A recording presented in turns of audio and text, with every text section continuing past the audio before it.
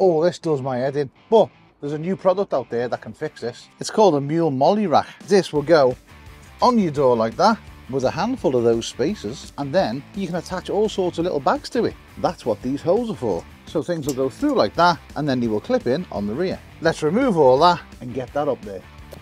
Now that's clean. Now we can fit this on. Screw it all the way around, then you can start attaching your bags to it. You can get MOLLE bags in all different shapes and sizes and they are the perfect thing to support them to your van and keep everything stored safely. Just go and check them out. Get on the keyboard, go.